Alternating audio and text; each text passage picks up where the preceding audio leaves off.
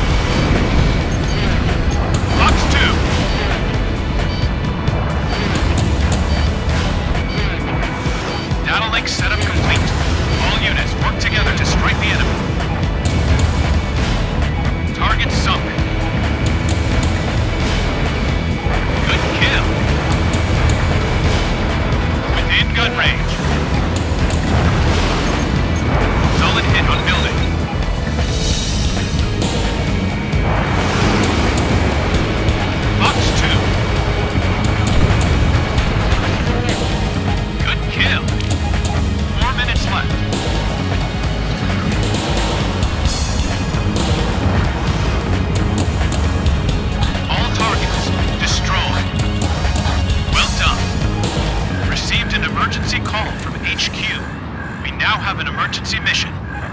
New hostile flight detected. Enemy attack helicopter squadron is in the air.